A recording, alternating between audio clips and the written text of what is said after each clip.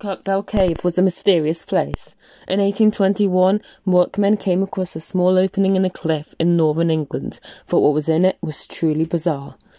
They immediately sent for the world renowned paleontologist William Buckland, who arrived that December.